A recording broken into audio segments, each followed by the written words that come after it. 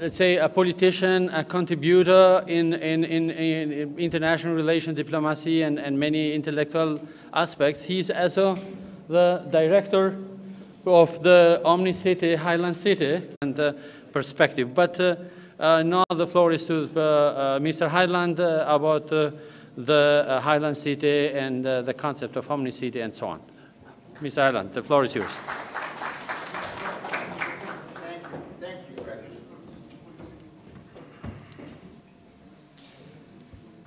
Before I begin my remarks, I want to point out that behind me on the screen will be projected images relating to Highland Town. I don't know if they're there already, but they will change as I give the lecture.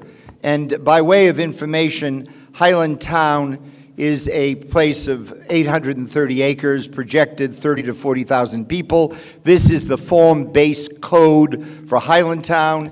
And in, uh, this is a map uh, as an example of the uh, planned layout for Highland Town.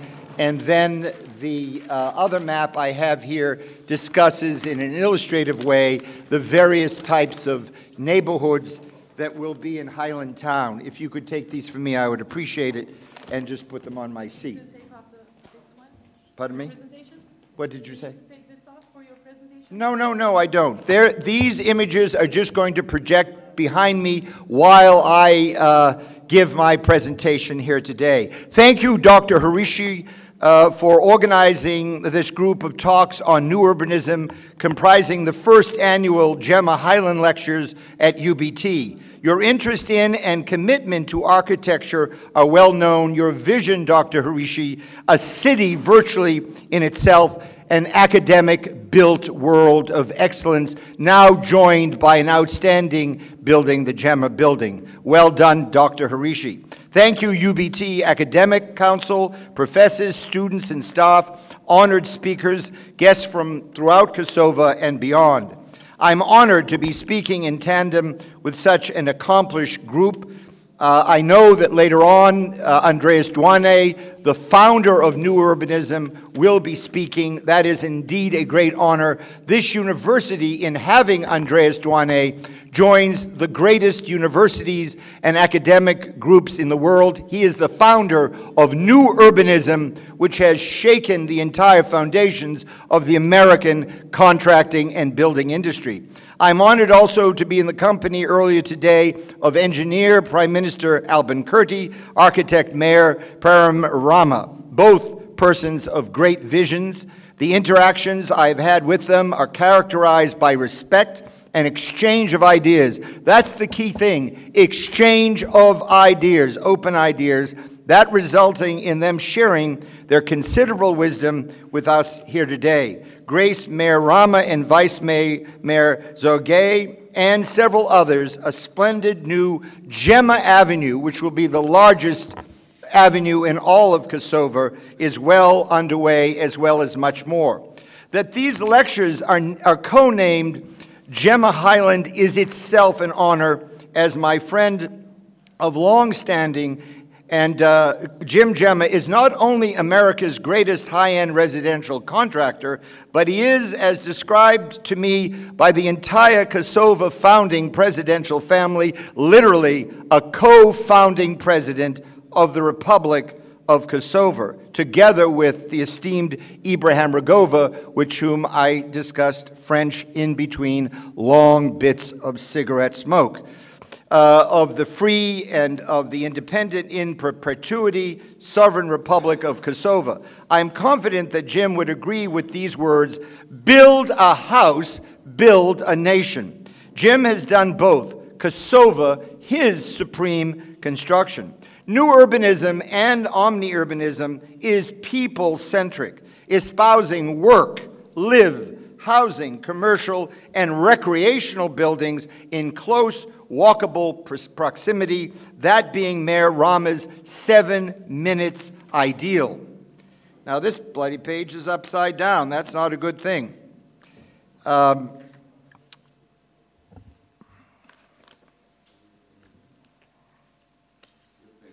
New urbanism and omni-urbanism focuses on great design, great living spaces, encourages community, makes for much happier citizens, is great for business, conserves energy and building materials, and makes it easier for jurisdictions to provide services and to fund them. This is a problem. Sprawl is unfundable.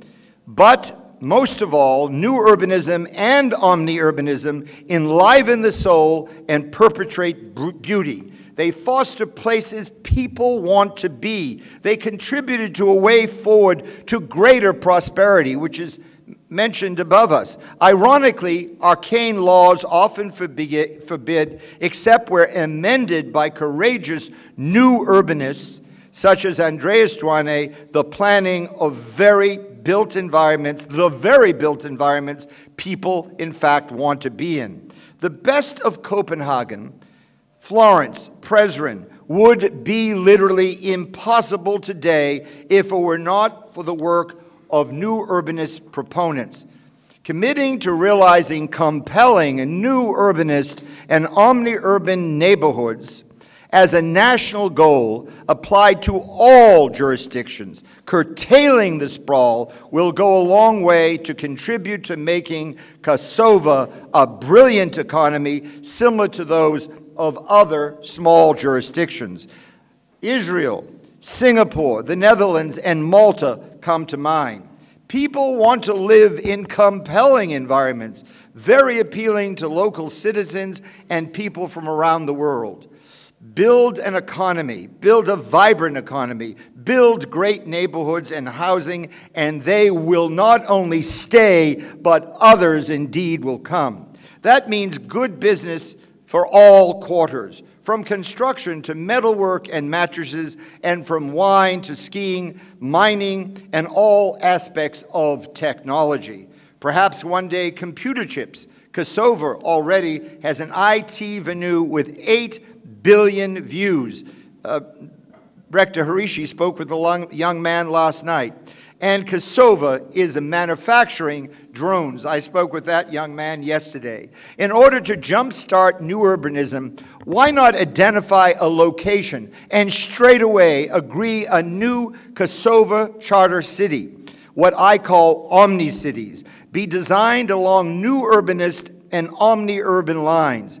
That would put Kosovo on the urban planning global map. Omni Charter Cities, quote, give government and planners a chance to look beyond the status quo and create new solutions that are effectively, purposefully designed. Basically, charter cities free jurisdictions of often outmoded laws that hinder smart, reasonable, consistent, profitable, inclusive growth. New urbanism and omni-urbanism are planning ethos that will give added luster to all Kosovo built world jurisdictions, let alone a Kosovo omni-charter city. Considerable awareness of historic and contemporary urban design, well documented for research inspiration, grace the internet. That coupled with innovation in transportation, building materials, building technology, the building operations technology, not to forget ease of daily communication, affords contemporary urban designers much perspective heretofore unfathomable, thereby allowing urban designers fertile ground for development of assiduously curated, compelling community fostering new neighborhoods and towns. Now that's quite a sentence. St statist architectural urban design models, often emanating from rigid, even extremist political ideologies, often greatly influence or still rule the day. The negative impact of such plans are often lessened by judiciously commissioned, compelling new trophy buildings. That said, in general, the design narrative would appeal to the Stasi.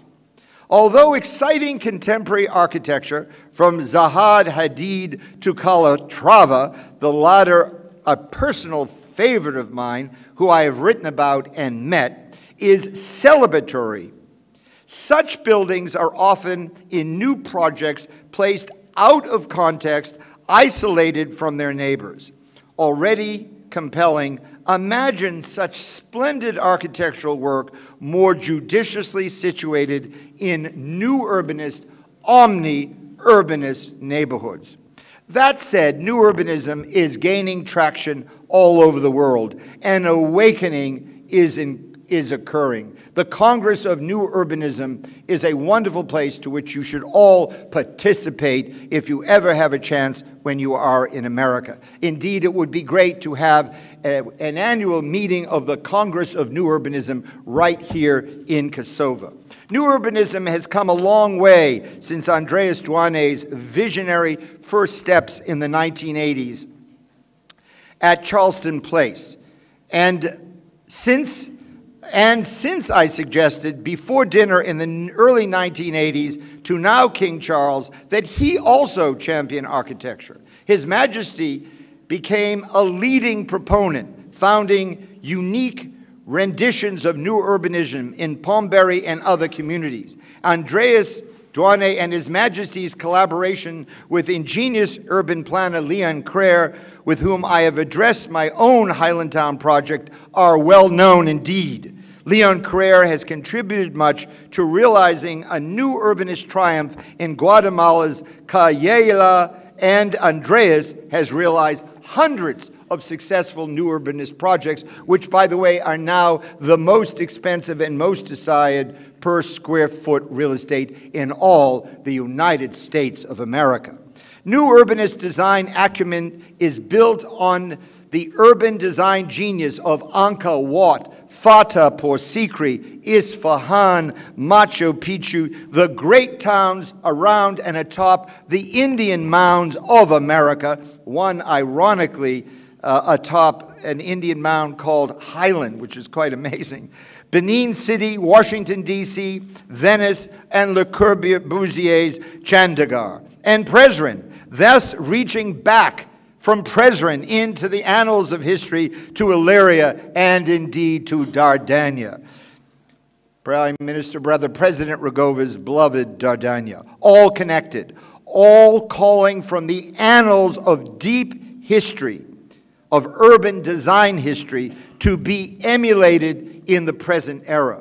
New urbanism and omni-urbanism invites us to view urban planning another way, one that derives its ethos and inspiration from places not unlike the ancient cities, towns, villages, and souks of Kosovo, all the while reinventing their design language, integrating that design language, not forsaking it, not turning your backs on it, into a compelling, new, built world Kosovo vernacular language architecture, a new vernacular infused with both tradition and contemporary design that is the omni-urbanism way to the future.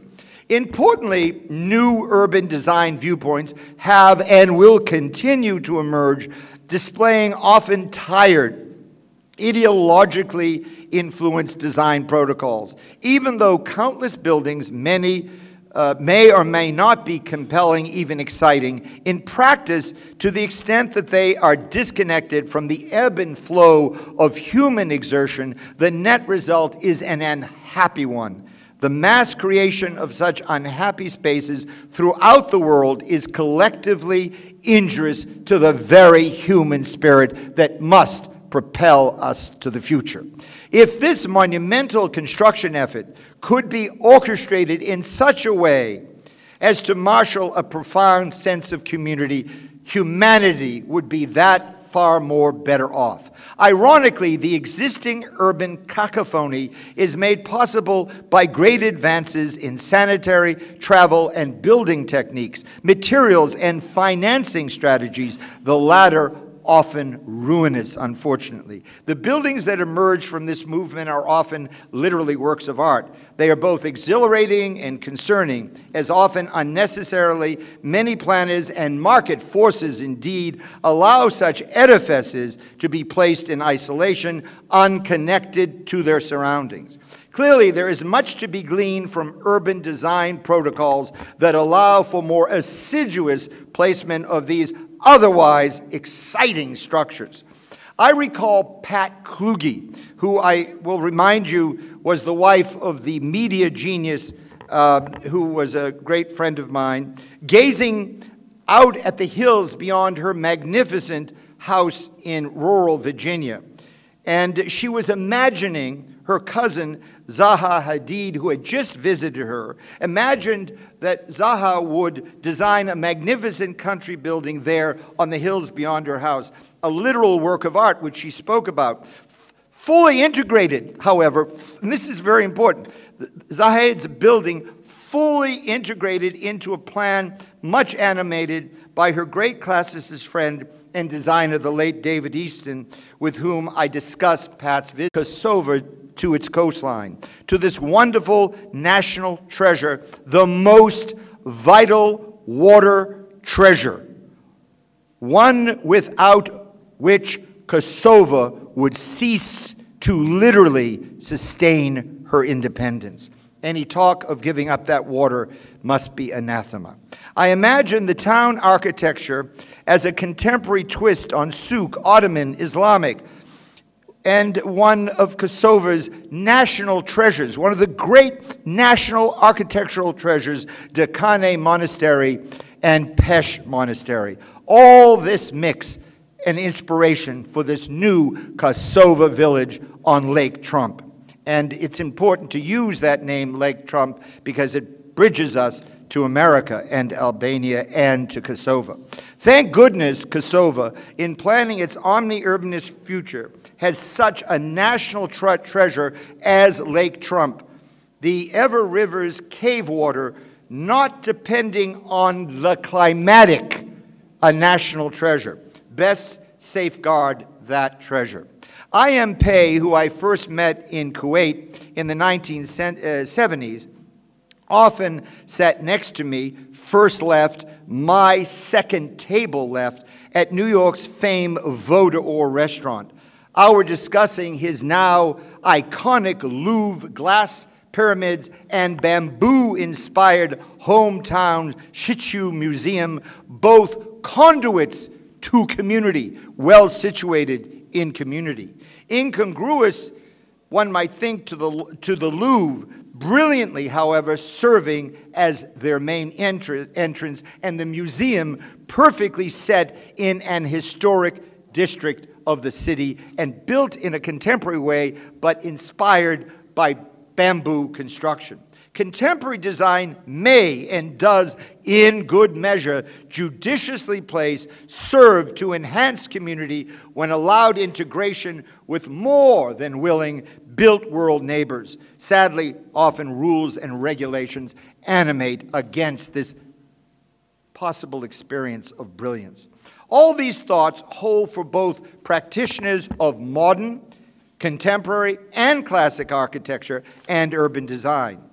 Often the most oppressive aspects of the 20th century's isms are all too evident in design decisions. We are all reminded of pillboxes by the thousands throughout Albania, and virtually all of Denver, Colorado being leveled in the name of new urbanist renewal.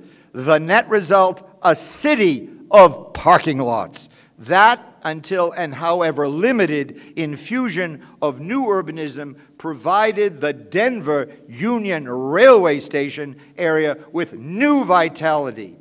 One not predicated solely but what is by what is best only for the automobile. Human concern brought center stage, life returning to Union Station. No pun intended, but union of spirit and mortar emerged when spaces became human centric once again.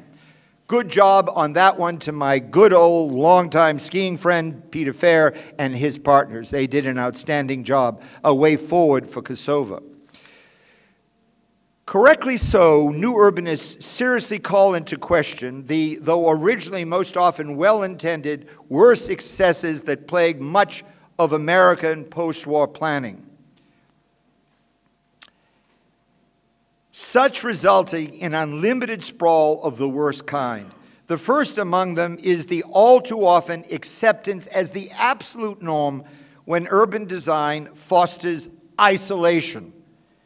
That encouraged by arduous travel efforts necessary to connect to family, to recreation, to health care, to faith, to shopping destinations. As a case in point, my dear friend Susan Taylor and I spent six hours of New Jersey car time one Saturday to accomplish basic errands. In my youth, growing up in more inherently new urbanist Salem, Marblehead, and Hamilton, Massachusetts, the similar task would have taken at most one hour in car travel time to achieve. Susan explained that our travel time was absolutely the norm. Six hours. It was amazing. In urban sprawl, easy connectivity is practically non existent.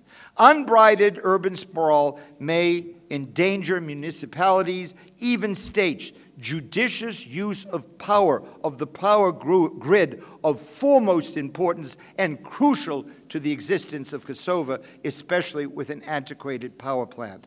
Poor use of existing power resources doom functionality. Today, India, Germany, and China face serious power challenges.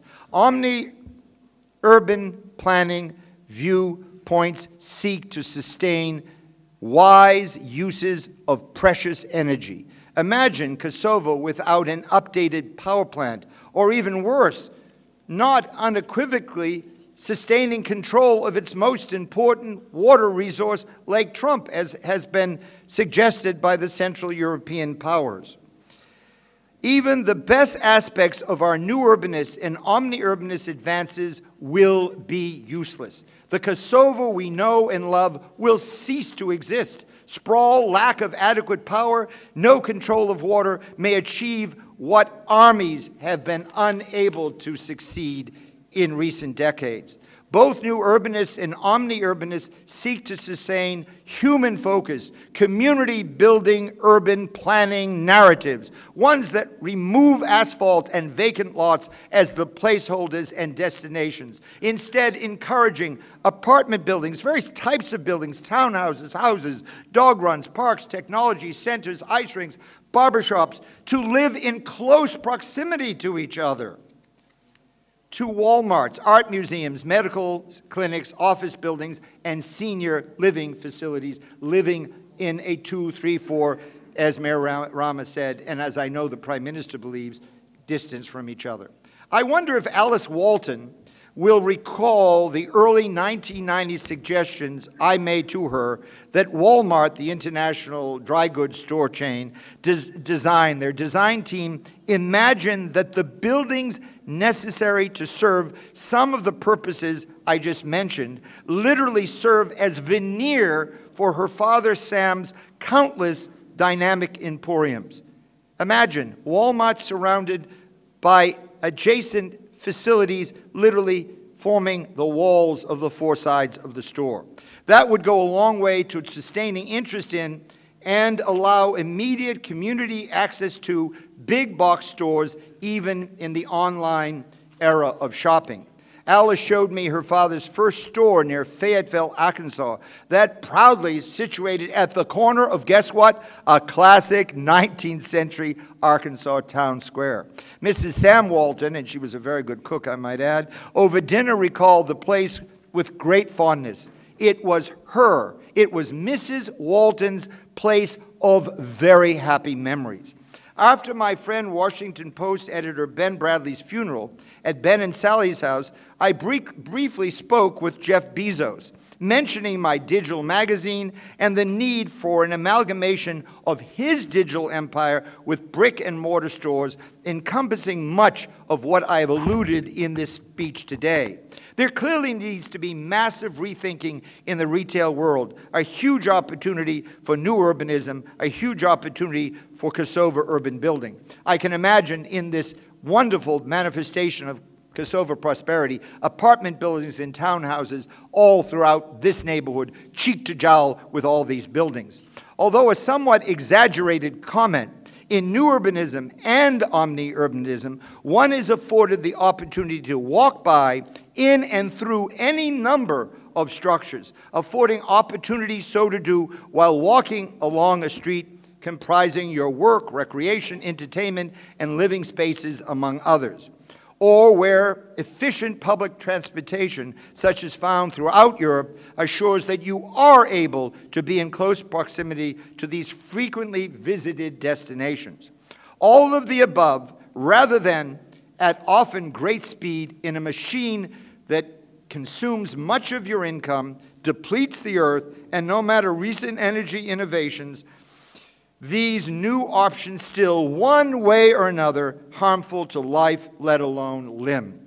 We want to celebrate the automobile, but in good measure. Highlandtown will one day have an automobile center, an automobile re regard, uh, repair garage, an automobile display ground, and that will celebrate cars and automobiles in the way they should. Ironically, the seemingly enlightening cadre who espouse what I refer to as solitary architecture, urban planning, will argue that new urbanists are rigid to the contrary, as CEO and design director of Highlandtown, I'm constantly being told by developers that the poor situation in American urban planning is due to unchangeable, unbending, now archaic rules and regulations that allow for no deviation from already proven poor, financially disastrous to the taxpayer planning protocols.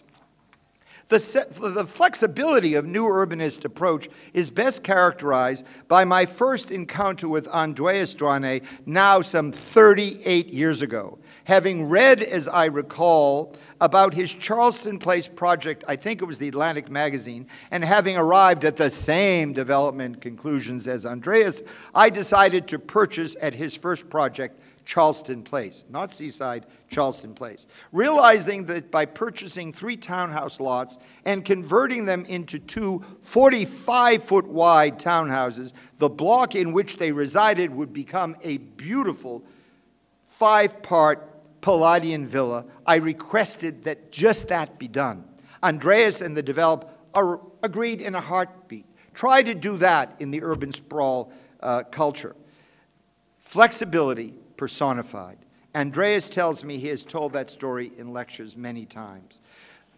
The Pristina open air, marvelous, Mother Teresa Boulevard, with cafes, shops, business, apartment, cultural, and government buildings, including the Swiss hotel where I'm staying, exemplifies in several ways the ethos of new urbanism and omni-urbanism.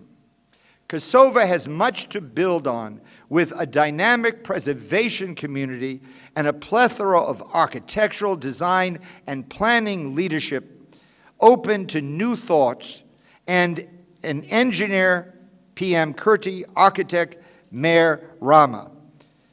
How uh, fortunate Kosovo and Pristina are. They were the first people I suggested this conference to of course, Rector Hajrizi, the very first. Kosovo, as is the United States of America, suffers from unhappy urban sprawl. Too often, lonely tower after tower. There is hope afoot in Pristina, hope afoot in Kosovo, and America for a much better situation. Embracing new urbanism and omni-urban tenants, Kosovo will greatly increase its ability to formulate concrete circumstances from which to build a prosperous future by, most importantly, more effectively and successfully joining the ranks of the ever-growing best aspects of the global ch city charter movement.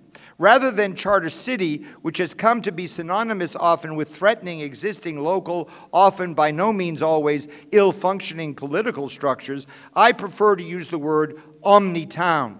That in a nod to seeking constructive input from both always while fully embracing the new, in particular as concerns livability, beauty, and sense of place. The architectural styles may be traditional, transitional, contemporary, or better still, the best, a mix of them all, that guided by both transects and architectural standards come rule books. Transects, architectural standards, you're seeing some of those things behind me on the screen. I hope it's flashing. This uh, balance is exactly what we're seeking to achieve in Highlandtown on 830 acres, 336 hectares, as an omni-urban town, which is now in the process of being formulated in Mead, Colorado, in the United States of America. Acceptance of Highlandtown's visionary planning will require much thinking out of the box. All of us want to avoid what New York Times journalist Anna Cote warns against when in her July 20th, 2023 article, quote, America the Bland, end of quote, she writes about the United States, quote, across the country, new developments are starting to look the same way, raising fears that cities are losing their unique charm, end of quote. Nobel Prize winner economist Paul M. Romer advocates that the overwhelming encumbrance to building well-run, prosperous communities is poor government, that the, the creation of new jurisdictions, sustainability free of such encumbrances is a pragmatic way forward. According to Romer and others, there are rules and regulations that inhibit, inhibit growth. As reported in the Financial Times article by David Pilling, quote, why he, Romer, asked in a 2009 TED Talk, did many Africans have access to mobile phones, a modern technology, but not to electricity, which became widely available 100 years ago, end of quote. Romer's answers, poor rules, poor laws, governments demanding cheap electricity, suppliers unable to contribute at a loss, hence 600 million Africans are without power due to that, that unhappy vortex. Corruption, adherence to old, hopelessly fixed ways, condemn societies to perpetual self-destruction. Omni-cities, judiciously formulated, contribute to hope for a better future.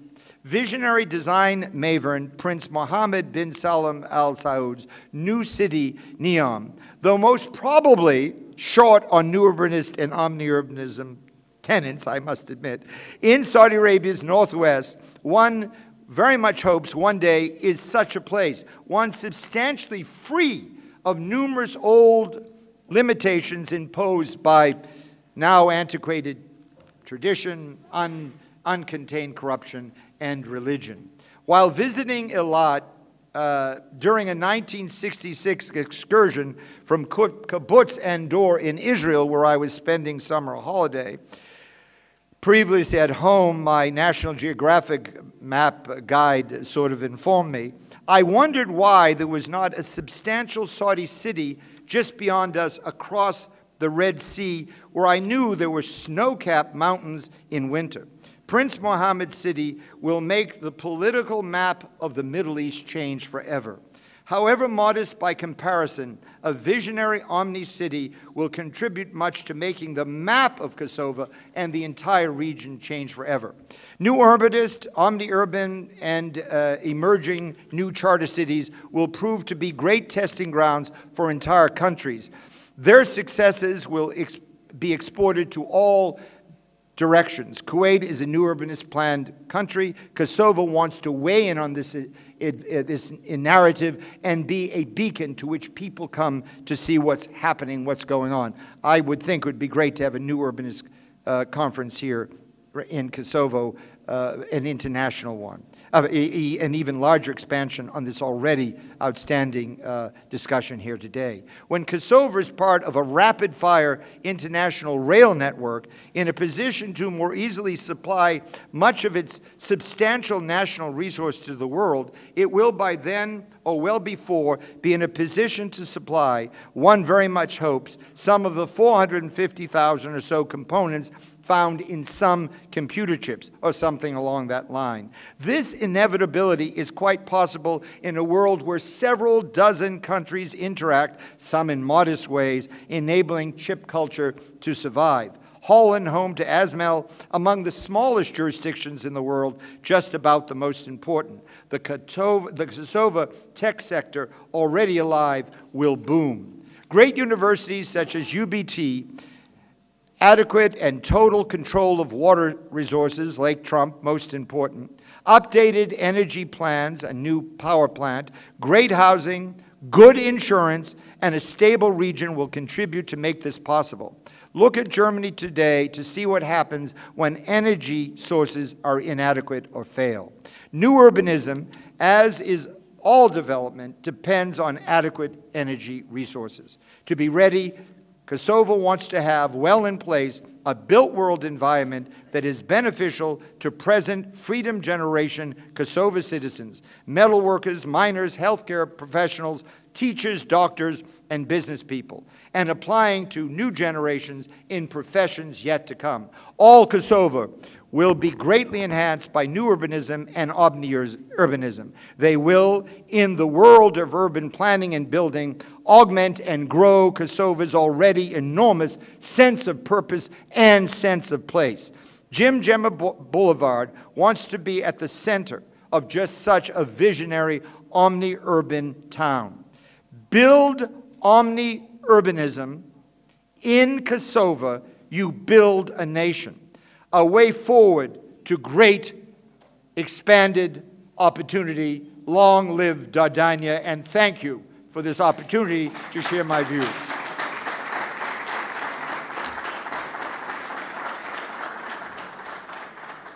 So on the map just behind here, there are these uh, bits and pieces that uh, you've seen. And we would be happy to send them to you at some other time, but I am going to give the floor to an eminent, great man who follows me, the eminent gentleman right here.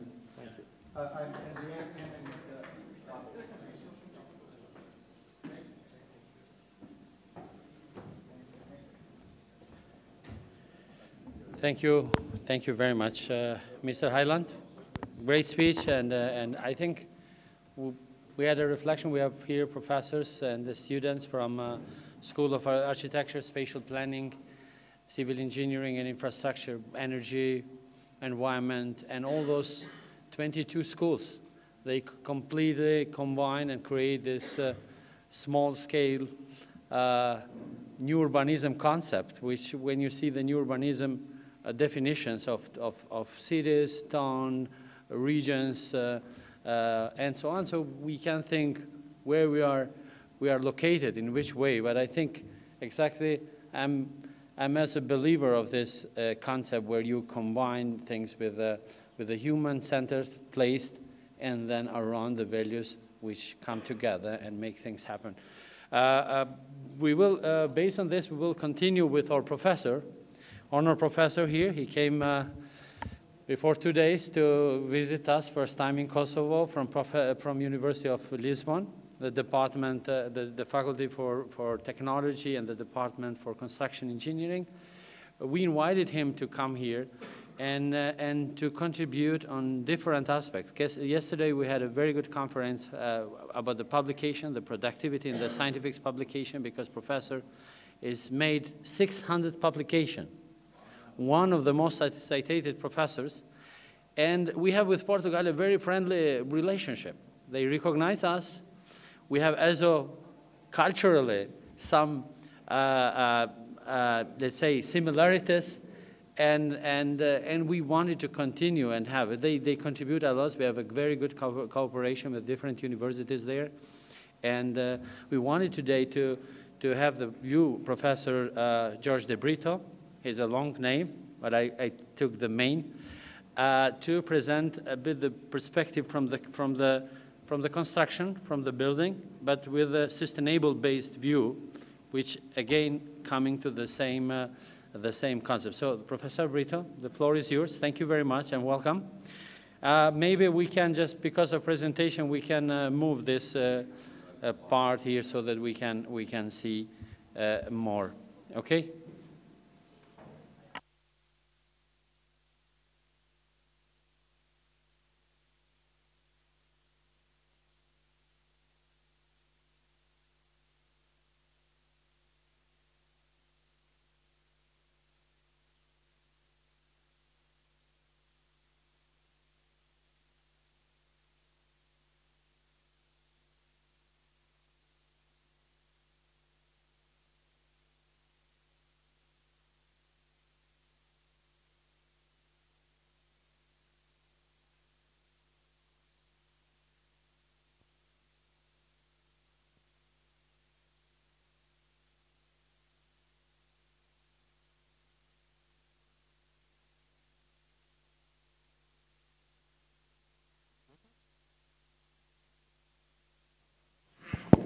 Okay.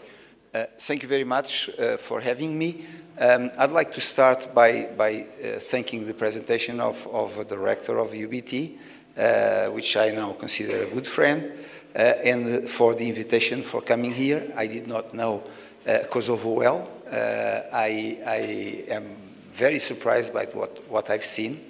and um, and one thing that struck me when I came from the airport to here is the level of development and the level of construction that has been going on for the last years. So I thought, uh, if I'm going to talk about sustainable construction, and since everything that I've seen is made of concrete, why not talk about sustainable concrete? Because concrete is, is and will remain the most used material uh, by man only second to water, which is not really a man-made material. So uh, uh, uh concrete is unbeatable from a point of view of the uh, uh, competitiveness because it is by far the most used material in, in building. even in the United States, it is now the main construction material, beating steel, beating wood, timber. Uh, and so I, I, thought, well, why not talk about uh, sustainable concrete? And so that's what I'm going to do with your, with your permission. Uh, okay, this is the, the, the, the, content of the, of the short presentation I'm going to, to make. I'm going to discuss two concepts which most people take for granted. I'm going to discuss some barriers to the upscaling of this notion of sustainable concrete, because there are barriers, okay? Um, it is much easier to keep things as they are. It is cheaper to keep things as they are, but we need to change. Okay, we need to change.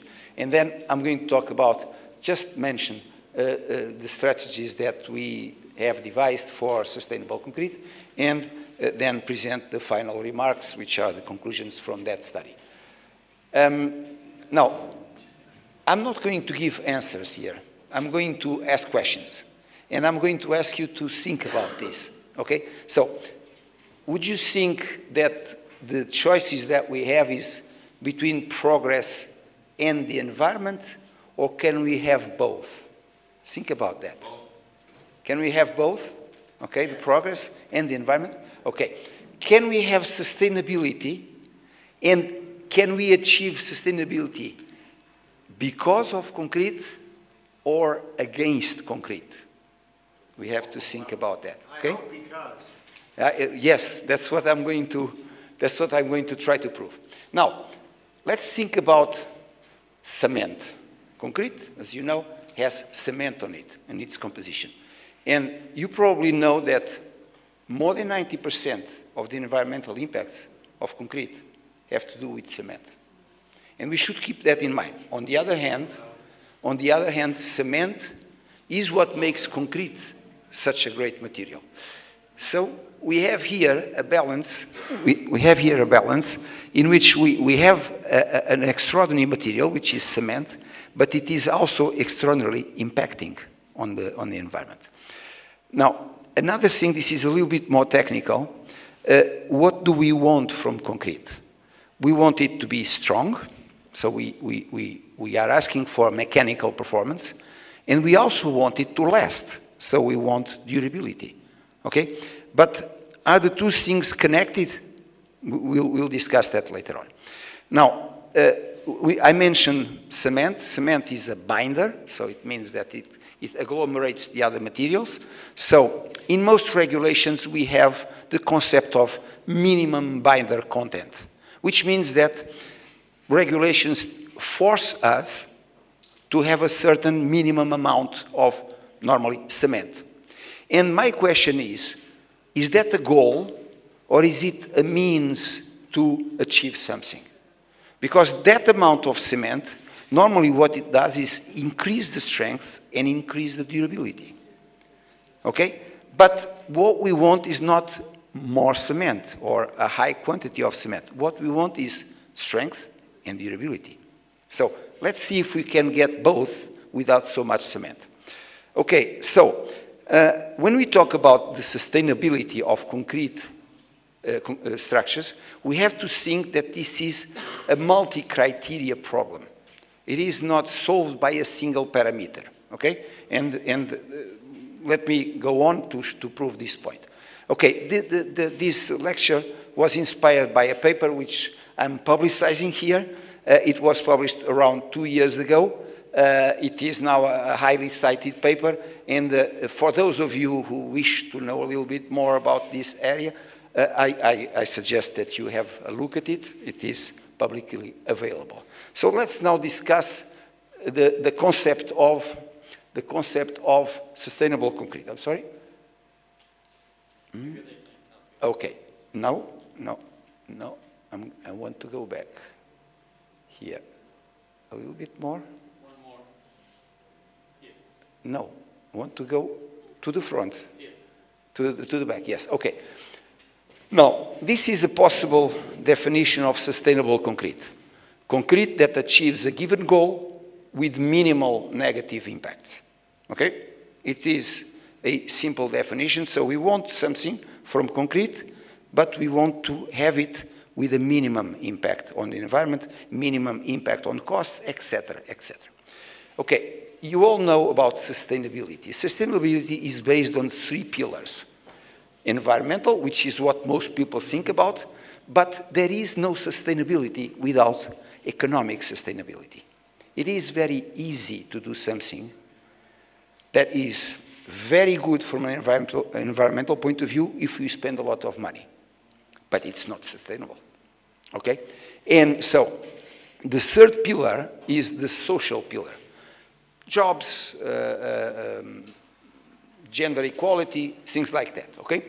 Uh, you, you, are thinking that has nothing to do with concrete. It does, it does.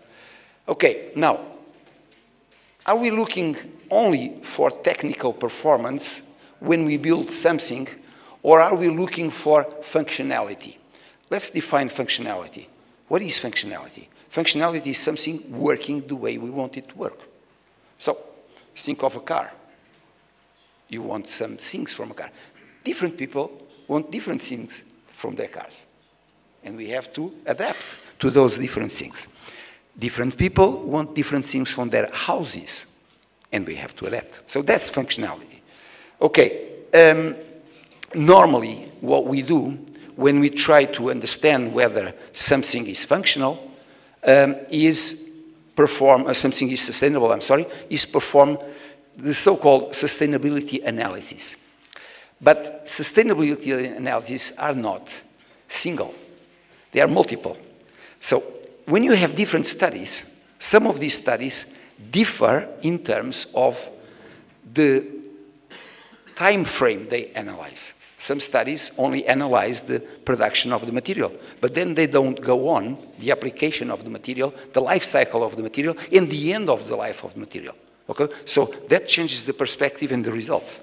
Also, some studies do not take into account the avoided impacts. For example, when you use a, something that is a waste and you put it back into the production cycle, You avoid all the impacts of the waste, dumping, for example. Okay? And some studies do, some other studies don't. And of course, other things a little bit more technical, like the actual way the impact, the, the impact is measured. So different studies do it in a different way. When we compare them, the result is this. Uh, sorry? Uh, the result. I'm sorry, I'm not, okay. I'm having a problem here, I'm sorry. Uh, we, we have contradictory results. And contradictory results are very bad. Why? Because we lose confidence in them. So we have people saying, no, we need to go this way because it is more sustainable. But then the studies in which these conclusions are based have, for the same parameter, one or 10. So outside people say, this is worthless. I can't believe in any of this. Okay? And this is an issue.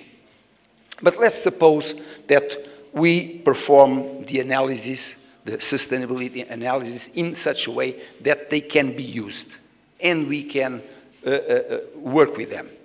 But normally, it is not either scientists or technicians who make the big decisions. It is politicians whom we elect, okay? So they have the right to make the decisions, okay? The results of these sustainability studies are not straightforward. Uh, it's like a car. Let's imagine that you look at a car, and can you imagine a car that is both, that, that, that has, is the least costly, the least environmental impact, the fastest, the most safe? It does not exist. So all studies in terms of sustainability give results that are not simple to analyze, even for people who know about it. Imagine for politicians to take, make decisions based on those studies. Let's move on to the, another pillar of sustainability, costs. Costs have a problem. When you anal analyze sustainability, the costs are very uh, um, site-specific. What we, the same material here in Kosovo has different impacts from in my hometown, Lisbon. Okay? The same material, different impacts. And of course, the impacts are also time dependent. They vary over time. So this makes the studies difficult. I'm pointing out here difficulties, okay? Not solutions yet, okay? The social impacts well, the social impacts are by nature holistic, which means they have to do with very different areas. So you have to compare things that cannot be compared. How do you compare uh, uh, human life safety with uh, gender equality? How many, how do you compare it? It's not possible, okay? They are qualitative by nature, okay? And they are very polemic, very polemic the social impact. So normally, the analysis of the social impacts is left out of this sustainability analysis. Let's now discuss the concept of functionality. Functionality, I tried to define it. I, am not sure I, I achieved my goals, but it is hard to define. It is harder to quantify. It, it, it is even harder to compare. Okay? So how do you compare two houses? The same problem. One house is possibly better in some aspects, but it's more expensive. So which one is better? You have, you have to make decisions. Now let's move on to concrete design. I don't know if there is anyone in the audience that you, you, you probably understand what I'm going to say, but uh, uh not many people. Concrete design for people who design concrete is based on characteristic uh, strength values which are based on a single parameter, which is the strength class. Okay? The strength class. So we say a, a certain concrete has this strength class, another concrete has this strength class. And according to the way we design concrete today, there are relationships which are established with all the other properties. There's one problem. Even though this is very straightforward to use, it is oversimplistic. Those relationships for, for people who know enough about concrete are not true. They are not accurate. So we are working today concrete, concrete designs. I am a concrete designer, or was, um, we believe blindly on relationships that are not really true. Okay? And that is why it is so difficult for concrete designers to start using unconventional materials. Because they believe that if they use the conventional materials, the relationships they have here, they believe it just as it came from God. They are absolutely accurate. They are not. Okay? So for unconventional materials, it's exactly the same problem. Okay? Now, the functionality of concrete. What do we want from concrete? Okay? Well, it depends on whether we're talking about a column, we're talking about a slab, or a beam. We want different things from these elements. it, it also depends on the actions. Kosovo has earthquakes, so does Portugal. But you talk about earthquakes in northern Germany, and they'll say, I don't care about that. I don't design concrete, uh, concrete and concrete structures for earthquakes because we don't have them. But it makes a huge difference. We also have the external environment. Concrete must be designed to withstand the environment. And some environments are very aggressive, others are not. This column here has no problems. But if it is by the sea and exposed directly to sea breeze, it has big problems. So, uh, and there are other, other issues. So, now I introduce here a new concept, which is the functional unit. Okay? The functional unit is absolutely indispensable for to make any comparative analysis. Let's, let's go back to a car. Okay? Let's imagine that we are trying to make a serious study about three cars. Okay? You know that no car is like any other car. So you have to define characteristics. You are going to say, so the car I want is the cheapest car that can achieve this speed, has this rating in terms of safety, and if we could rate that, is beautiful to the point of class whatever. Okay? So we define those characteristics, and the functional unit is a car that can do those things. Okay? And then we compare the three cars. They are different, but each of them has to achieve what we call this functionality. And then we can compare. We have a functional unit. Okay? Uh, most studies that you see on concrete are not correct. They, concrete, they, they compare concrete in terms of mass. They say, I'm going to compare this concrete, one cubic meter of it, with another concrete which has also one cubic meter. The problem is this concrete has a much higher strength than that one. So it's not fair to compare them. Do you understand? It's like comparing a Rolls Royce with a Morris Mini in terms of costs. It does not make sense. Of course, the Morris Mini is much better, but it simply is not as good. Okay, so even when people compare in, in terms of the same compressive strength, the concrete, concrete the, the compressive strength is not everything in concrete. We need to consider durability. Okay? If the same concrete, two concretes have the same compressive strength, but one lasts for 50 years and the other lasts for 25 years, in theory, you should multiply the cost of the second one by two, right?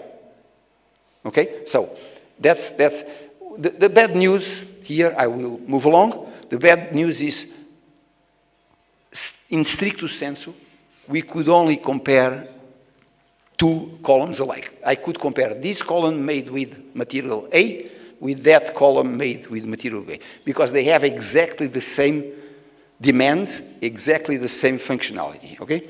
But let's move on. Um, I, will, I will just introduce here one concept which I think is very important. I believe that we are going to design everything in the future, not just concrete structures, everything, from the point of view of performance-based design. So, instead of designing according to regulations, what we want is, I want a concrete that does this. I want a car that does that. I want a house that does something else. And then I design for that Forget about regulations. Regulations should only fix the minimum standards. A guide, exactly. We should say, okay, so someone inside this house cannot be too cold. Okay? But then if it is higher than that, it's up to us. It's up for the client to say, I want a house in which I can be uh, in, in shorts every year, during the whole year. You, and I'm ready to pay for that. Then we do it. Okay? Now, it is very important to talk here about sustainable concrete. Okay? Everybody wants everything to be sustainable, right? I don't think we disagree here. However, we don't, we haven't managed to achieve and to apply sustainable concrete or sustainable cars or sustainable anything else, okay? Why? Well, to start with, because there are many ways of doing it, okay? This is good news. This is good news. We can achieve sustainable concrete through many ways. And this is the second good news, okay? There is enough information from research to apply some of these ideas, okay, to make sustainable concrete. The bad news are many of the solutions are done by people like me. I don't have a company. I'm not worried about, you know, actually making the idea work. So some of them are too raw. Some of them are too theoretical, okay? And so we, we think we are solving the world when really, in practice, in the real world, we, things do not work, okay? So let's, let's just for exemplification purposes mention how we could use, uh, um, I'm sorry, before that. Um, as I told you, the, the concrete designers or car designers or house designers have fear of new solutions. It's natural. We always feel more comfortable when we use the solutions that we know that we know how they work. So, you know, to move forward, Henry Ford moved move forward, but he was risking. And many people probably told Henry Ford, hey, come on, don't go that way because it can go wrong. I, I would rather have the old type of cars, very expensive, okay? Only a few people could afford it. He had an idea, and the idea was to make cars for everybody. Okay, so, but people People fear the unknown. And concrete designers, guess what? They fear the unknown. Okay? So, but the unknown here is based on what I told you before. People have blind faith in the well known practices. Concrete designers believe that the rules they are using now will function for every type of material, conventional material, which is not true. Okay, so they shouldn't be afraid to use unconventional materials because with conventional materials there will be some, some uncertainty, but so it happens today. Only we believe there isn't.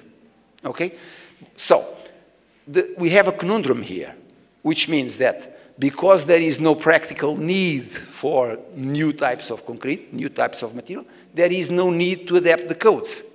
At the same time, because there are no fit-to-purpose rules in the codes, there is no practical need to apply those materials. We need to change this, and the, I, I, gave you an idea. Now, let's, let's give the example that I wanted to mention a moment ago. Recycled aggregates concrete. Do you know what this is? It means that all the rubble that we create by destroying buildings, instead of dumping it in some place where they ruin the environment, Let's crush them and use them in concrete. Concrete is the greatest sink there is, in a good sense.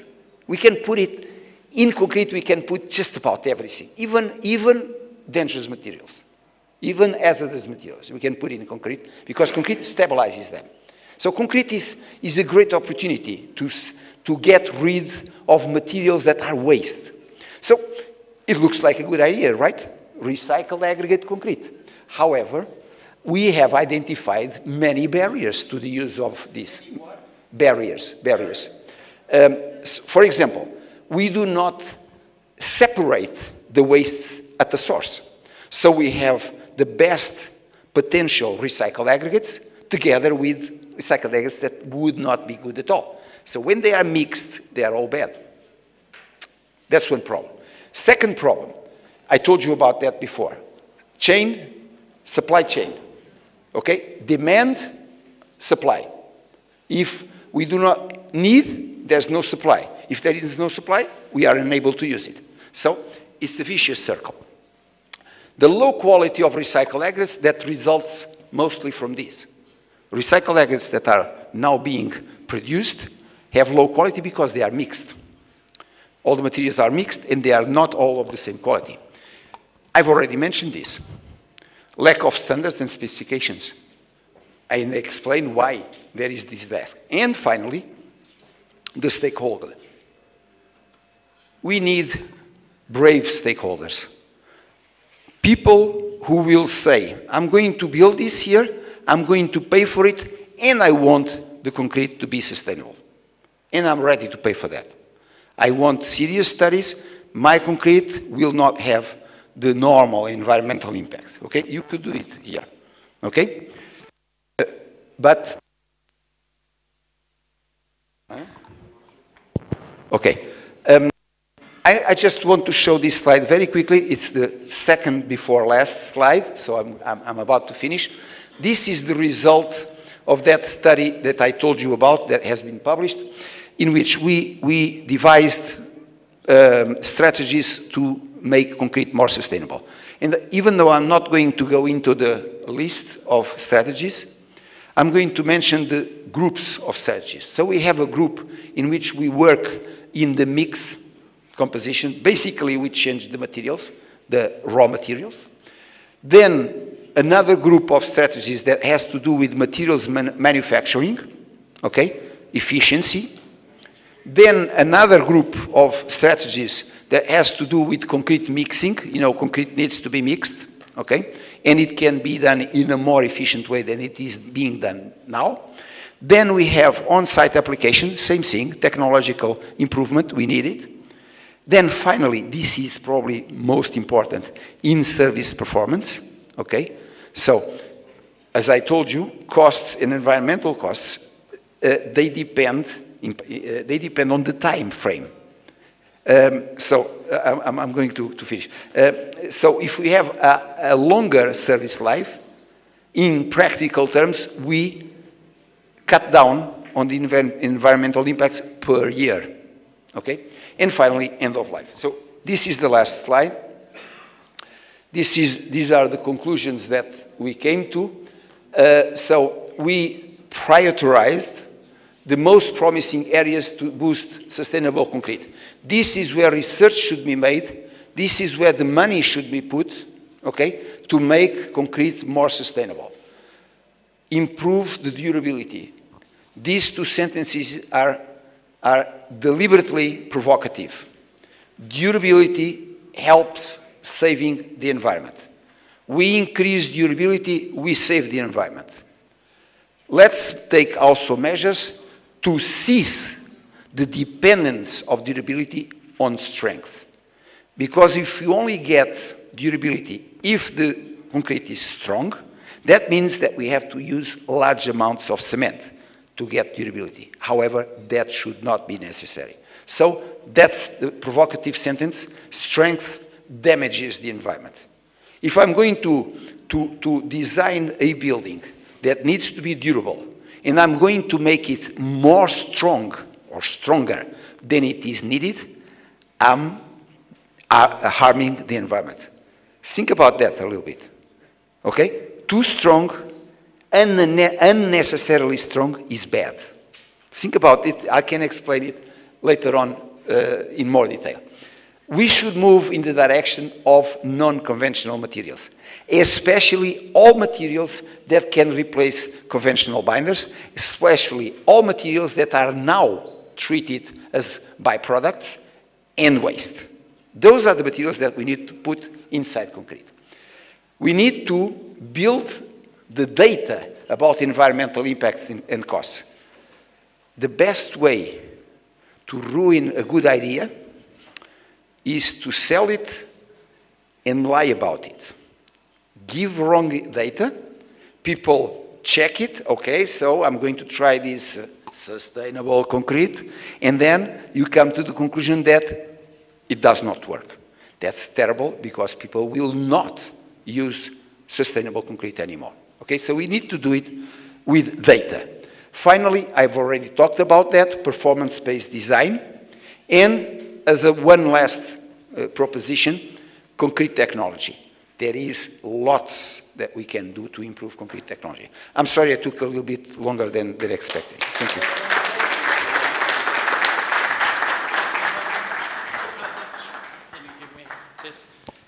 Maybe you can just stay for one. Thank you very much for this because uh, Mr. Highland has one question for you. Yes, I, I, if you don't mind, would you please elaborate on that one point about improving the concrete, which is therefore not necessarily the best for the environment?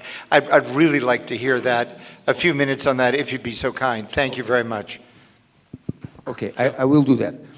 Now, let's imagine that you can have the same I will have to start from the beginning. How does concrete get strong? How does concrete get durable? Same mechanism. It's basically by being very efficient from the point of view of interlock of the particles. Okay, so if the particles can be more interlocked and the pores can be reduced, you get a stronger concrete and a more durable concrete. However, normally that is done through using more cement.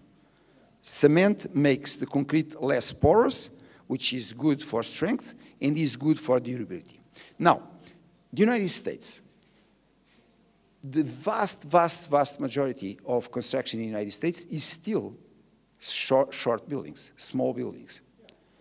How strong do you, do you think that concrete needs to be? Not very strong. Not very strong. But do you want it to be durable? You do. The problem today is that to achieve the durability, especially, for example, by the sea, to achieve an, uh, an acceptable durability, let's say 50 years, okay, you need to have a cement that has a strength class very high, which means that you are going to use lots of cement to make a concrete that is durable enough but too strong. So when I say strength damages the, envi the environment, what I'm saying is if you could do the same concrete with less strength, which means less cement, and the same durability, that would be perfect because that's good enough for all the short buildings. Okay? You're welcome. Maybe one, one uh, question because professor is on the on the floor. So you mentioned this this uh, between uh, durability. Uh, so if we have something longer, we can save the environment. But from the economic perspective, staying longer and not moving forward the economic movement development can be as or resist the better to find a, a balance. For example, if we have a smartphone which takes longer the same, uh, we prove it that this can decrease the economic uh, the growth. So we have also to live companies to move forward, but at the same time to save environment. We should say multi. What what do you think here? It's a very good question. Thank you very much. Um, now, houses are not cell, cell phones. That's, that's the first part of the, of the answer.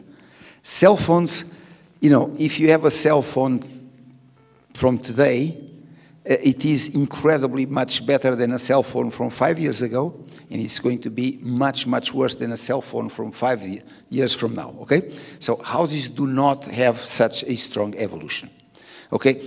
The way to boost economy cannot be what you were implicitly arguing for, which is let's make houses that break down very quickly and then have to replace them, and that helps the economy. That's not the way. There is another thing that is also important for, for the economy, which is rehabilitation.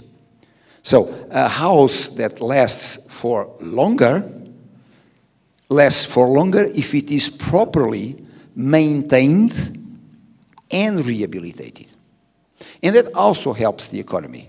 Okay? So I totally understand that in most cases, helping the economy means doing something bad to the environment. Most cases. So we need to have a balance here. And humanity has proved that we can move forward and forward. We have the, the most rich nations have the strictest environmental policy. So it is possible. Right? Thank, Thank you, you. very much. Thank you. Any question for Professor Brito? Okay, Sadia, I will come to you. You can do as a for uh, Mr. Highland if you have. Thank you for a remarkable presentation. I would like to hear more about the concrete waste, uh, the construction waste concrete, as we have a lot of construction waste in Kosovo. Although we have built a lot, we have also destroyed a lot. And uh, I would like to, to know how concretely we can build strategies on using this concrete waste that is harming the environment and, and also the visual landscape that we have in Kosovo, a beautiful landscape. Thank you. Okay. This is a very complicated answer. Uh, you have to act in many areas. One area that you can act on is Uh, uh, regulation. Okay? Regulations should be strict on dumping. Okay? I'm not advocating that you start now and you ban dumping of CDW, of construction demolition waste. That has been done already in Denmark. The Danish abolished construction demolition waste dumping. So that means that if you have something to dump, you have to do something about it. Okay? So you have to take it to some, someone who solves your problem. And how do they solve the problem? They separate the construction demolition waste by materials, by their potential applications, and then they provide a service which is good recycled aggregates, good recycled plastic, good recycled steel, good recycled timber. Okay, they provide service, but that costs money. So one needs to have an, economy that works like that. Another, another, uh, uh, uh, another way of doing it is what I'm doing here, is uh, uh, help technicians to start applying materials in a more sustainable way, to start using unconventional materials, namely construction and demolition waste. We should have at university, I, in my university this still does not exist, so I'm just proposing something that I have not been able to do. We should have courses on recycled aggregate concrete. And that would help. So we should have also, and this is politics, we should ha have also, um, we call it, I don't know how you say it in, in the United States, the stick and the carrot. It, the, it is? Okay. So, what is the stick in this case? The stick is um, uh, uh, you will pay more money to get uh, the, uh, the alternative of the, of the recycled aggregates, which is natural stone, quarries. You'll have to pay higher taxes. That's the stick. What is the carrot? The carrot can be something like if you apply recycled aggregates, you get a low tax in the, your building. Okay? Another type of stick plus carrot would be the, the, the national authorities would make a regulation in which they say it is compulsory to use a certain percentage of recycled aggregates in every type of building, in every type of road. Okay? And I can tell you that if, if that percentage is, say, 5 or 10 percent, there would be no technical losses from this measure. And it would take just one good minister, one good prime minister to say, look, from now on, everything in Kosovo will be built with 5% of recycled materials. Otherwise, it is not allowed. Okay, there are other measures, of course. The supply and, the, supply, uh, the, the, the supply and demand change needs to be worked. So you need to have recycling plants, and you need to have people who will use the products of the recycling plants, people who are ready to pay for the expenses of the recycling plants. So this is not a process that one can do like this. But I'm guessing if the government said you have to use recycled plants, recycled aggregates, recycled aggregates would become something that people would be ready to pay for. Okay? And then if people are ready to pay for something, there are other people who will get that something for them. Okay? So that's, that's the answer. Thank you. Thank you very much. Uh, thank you, uh, uh, Professor. Uh, we have a, our colleague, Professor from School of Architecture. Banush, please take the floor. It's for Professor uh, Mr. Highland or for Professor? Professor Brito. Okay. Yeah, two, two question max because we will close. Otherwise, we will have a, an extra session with Professor Brito with the department with the Faculty of Construction and Architecture after it. Thank you.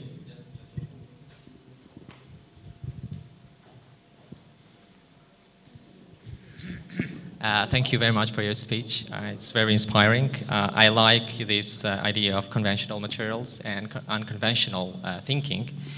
Uh, what do you think is the role of architects actually What is the role of? The role of architects okay. as designers um, in order to change the, the, the, way of how we think of unconventional materials and even structures basically the conventional way of thinking of architects and engineers today is uh, form, structure, and materials. We think at the end for the materials. And uh, I uh, strongly promote the new structuralism, uh, which means that the material is in the, it's in the forefront, then we have the structure and we have the form. and uh, how, how do you think we can actually take out this fear uh, of using unconventional way of thinking and how, which are the, the strategies uh, so this is my uh, uh, the first part of the question, and and the, the second part is can I, can, I answer, can I answer that part? Okay, okay. Uh, okay. Fortunately, architects do not structural design. They don't do structural design. That's very fortunate. Fortunately, they do many other things. Okay, and so very often the materials that are used in a house are stipulated, are chosen by the architects. So even though I talked here about structural concrete, you have all the other materials which are non-structural, which is you who decides how to use them. So if architects have the attitude of using unconventional materials, materials that are not only sustainable, but they reduce the impacts of, they can be actually environmental negative or uh, positive according to the way you look at it, then architects are absolutely fundamental in this revolution of, of sustainable construction, sustainable construction design. Uh, uh, what can I say? Uh, architects are indispensable. Okay, and then my second part of the question is, how do you see the hybrid constructions actually in terms of hybrid hybrid constructions and structures? Uh, well, uh, concrete is a hybrid. Hybrid. hybrid. Steel in, in, in, in uh, No, uh, actually combining concrete and wood, like in terms of 2080, using, uh, it, it's not anymore an unconventional way of constructing, but I actually in the US concrete, now it's... Concrete and timber, right? Yeah, and timber, yeah. yes.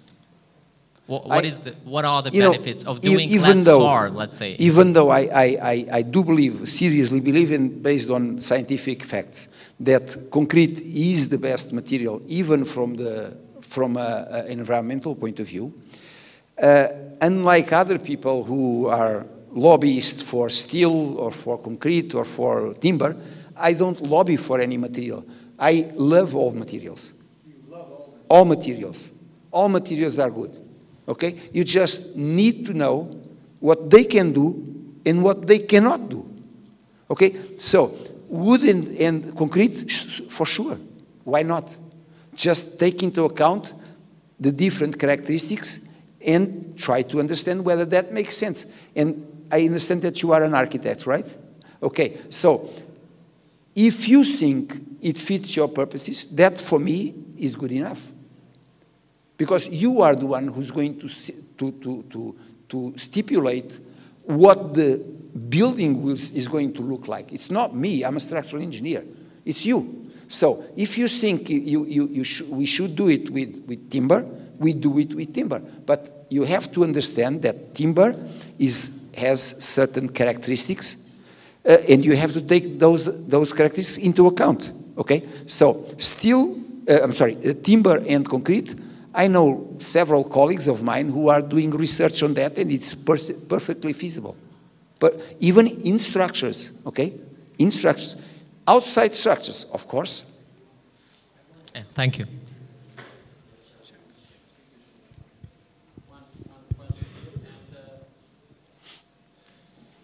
Don't go without a group picture all together here. This is a request from Mr. from Mr. Highland. So, and he wanted to. Uh, the Vice Dean of Construction Engineering. Thank you. Thank you very much. It's a very big pleasure to, to have your presentation.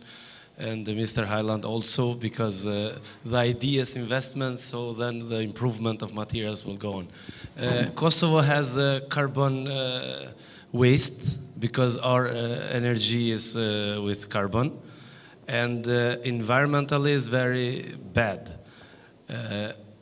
Recycled aggregates, if we combine with the waste, so the fly ash that comes from the waste, can be a challenge. People have done some work in Kosovo, but for Kosovo's environment, let's say, can we put uh, some basic in this direction at UBT uh, with your support okay. and uh, also the, uh, the USA support and hopefully to have a research activity for the staff and people here. Thank you very much.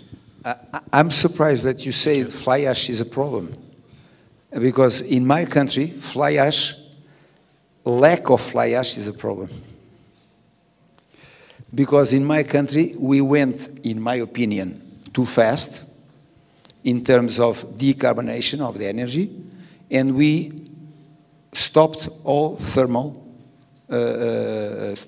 plants. Okay, so everything that was using uh, that was using coal, okay, to make energy, we stopped them. I think it's a bad mood, but, uh, move, but I'm not going to discuss that now. Now, the, the, the, the fly ash in my country it has been used fully mostly in the concrete industry. Because fly ash re can replace concrete with several advantages, which are less costly, okay? They have certain, uh, certain technical characteristics which, uh, for example, they reduce shrinkage, okay? They, they, they, they reduce some problems that have to do with the very high hydraulicity of cement, Okay, so in my country, the, the cement that was being most used is a cement that contains uh, a relatively large percentage of fly ash. So that's already the standard. The standard is no longer cement, pure cement, what we call ordinary, Portland cement. It is no, no, no longer the rule. The rule is already cement with a percentage of fly ash. The problem now in Portugal is that we have no longer fly ash. So our cement companies are going crazy because they have to get cement from Spain or they are trying to use some other thing instead of fly ash.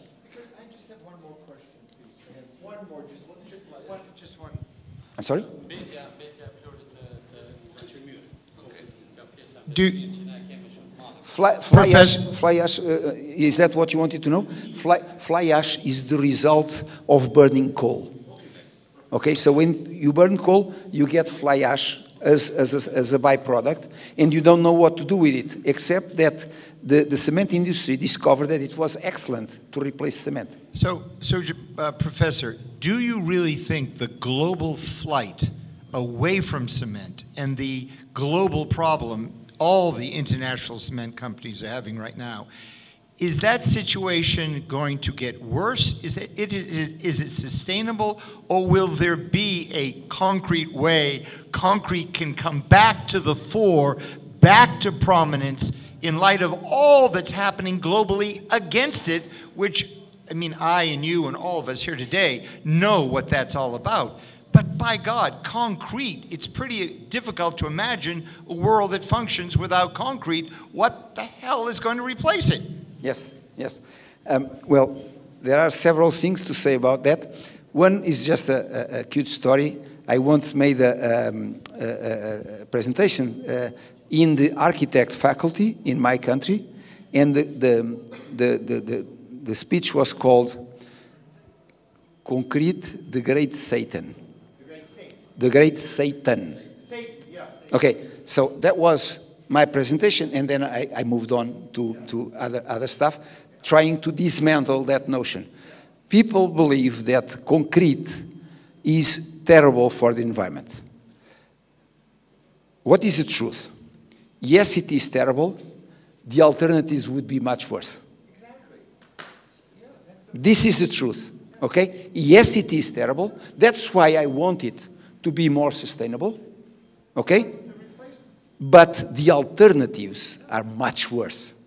Okay? So there is no, no uh, option, uh, no, nothing that, uh, now, nothing that can replace the concept of concrete. Only concrete, when you say concrete, nowadays, concrete means hundreds of types of concrete.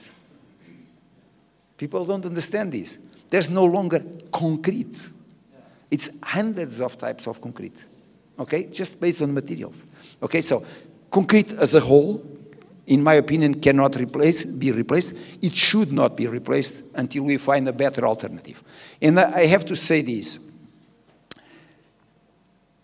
Developed countries do not have the right to tell non-developed countries not to build. Okay? So, I can say that Portugal is a developed country. I don't have the right to tell India to not build.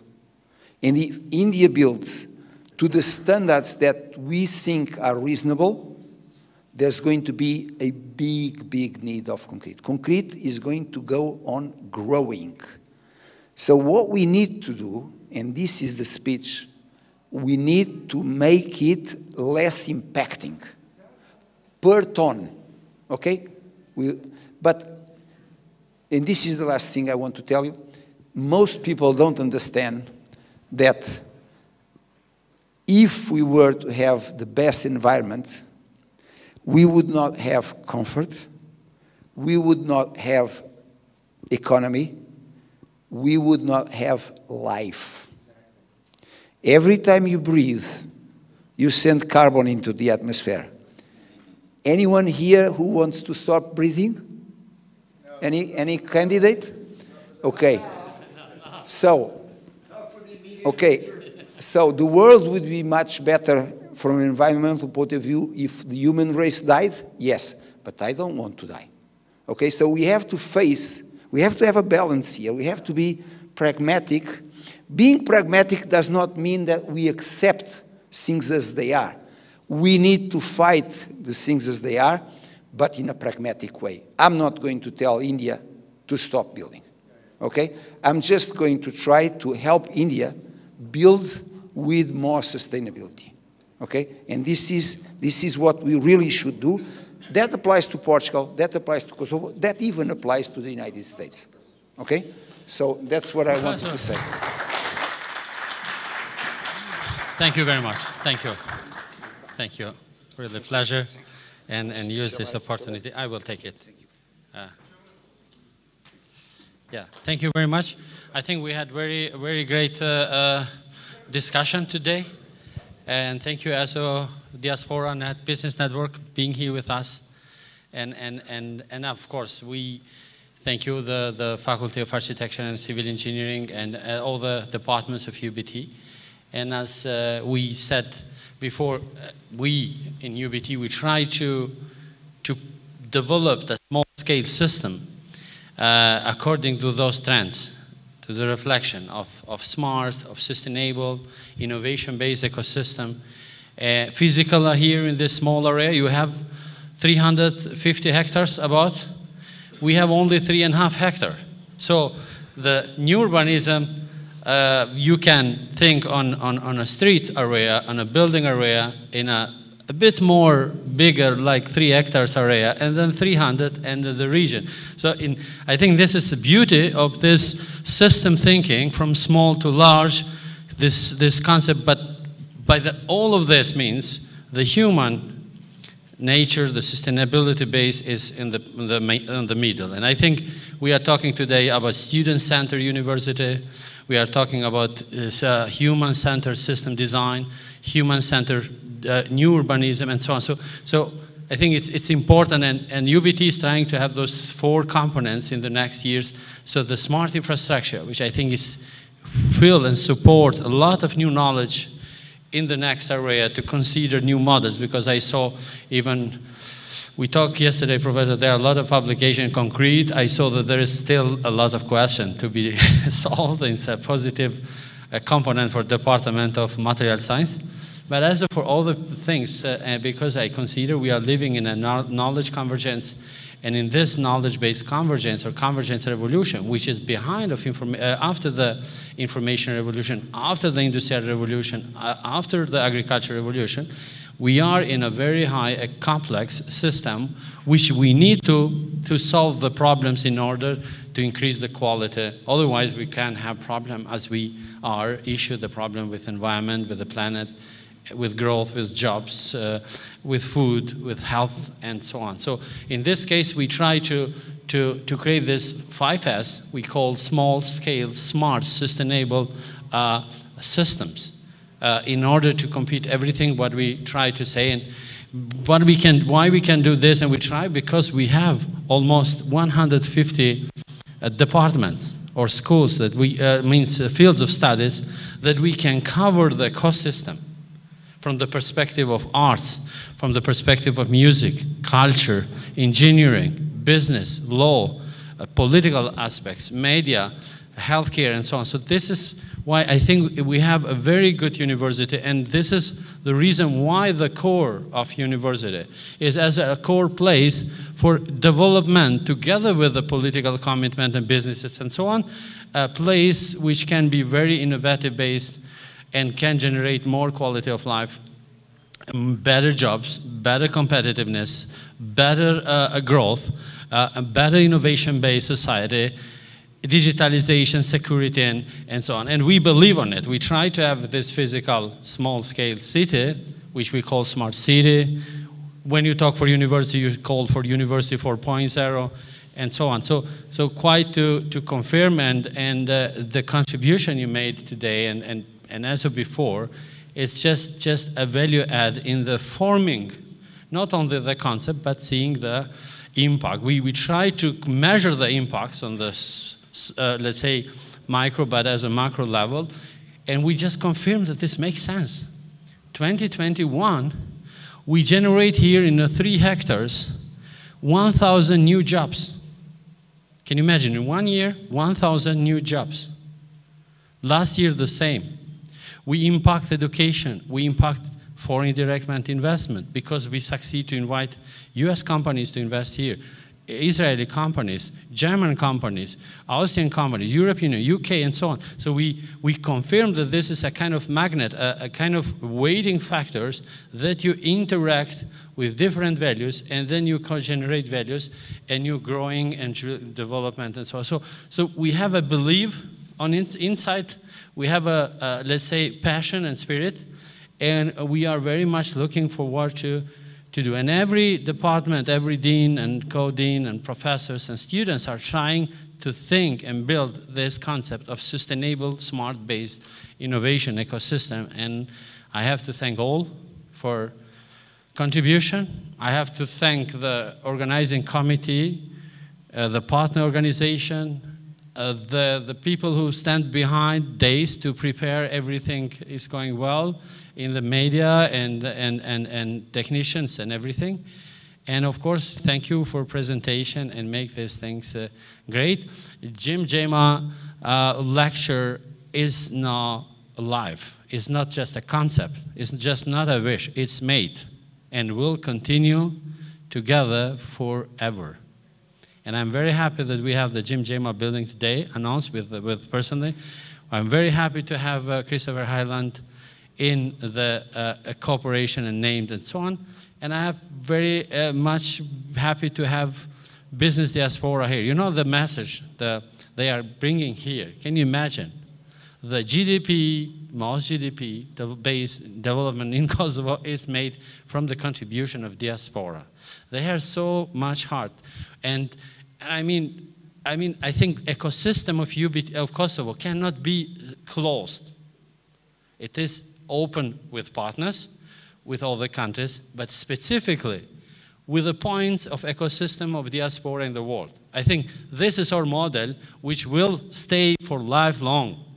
And I believe on it, and we have to cultivate and curate so much this inter interactivity, cooperation, and, and generate more values for the entire concept. So thank you very much, and looking forward for the next. We need, uh, as we said, a picture, please, coming up all together, somewhere here in this level, some, some downstairs, and then we create together this. Yeah, please, please, please, please, please.